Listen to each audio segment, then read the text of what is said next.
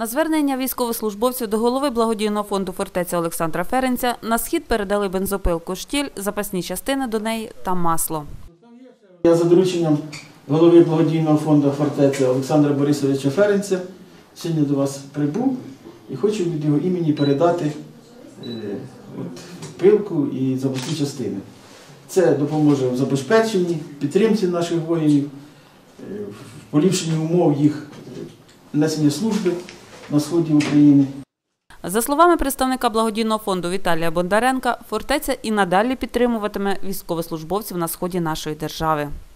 Всім нам миру, от, щоб війна скоріше закінчилася, щоб ми могли жити в мирній країні, в радості, в любові і всього всього найкращого.